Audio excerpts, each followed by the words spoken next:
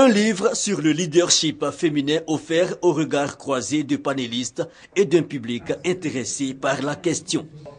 Le plateau est suscité par l'ambassade des États-Unis en collaboration avec la grande chancellerie de Côte d'Ivoire. Chaque mois, un livre et une thématique sont développés. Pour le mois de mars, l'œuvre de l'américaine Sheryl Sandberg, en avant toutes les femmes, le travail et le pouvoir, une sorte de stimuli pour susciter chez la femme l'envie de jouer les premiers rôles dans la société.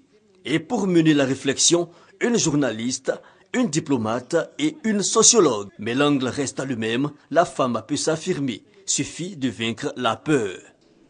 Il y a trois qualités dans le leadership. L'humilité, l'intégrité et le courage. Mais nous permet d'avoir confiance en nous.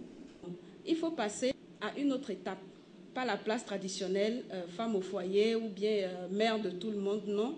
Il faut passer à l'étape où la femme est, comme Chérie le souhaite, où la femme peut atteindre les sommets. Une crainte de s'affirmer due à diverses contingences, la pression sociale, les idées reçues et souvent les femmes elles-mêmes. La femme est souvent son propre bourreau. Quand le petit garçon à la maison accourt pour venir aider maman dans la cuisine, qu'est-ce que tu viens faire dans la cuisine? Va rejoindre Michel là-bas, allez jouer au ballon. Une constante cependant, on ne peut faire son bonheur que par soi-même et pour cela il faudrait agir sans attendre la volonté politique. La volonté politique ne dépend pas des femmes, au moins qu'elles commencent à assumer leur part de responsabilité. Et puis la volonté politique viendra euh, peut-être confirmer ou accompagner. C'est un combat entre femmes que les femmes se soutiennent. Ensuite, les femmes et les hommes.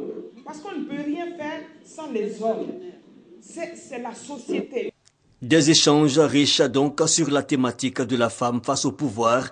Onze thèmes de réflexion, gages d'action durable, sont ainsi prévus par le Centre de documentation et d'information de l'ambassade des États-Unis pour cette année 2014.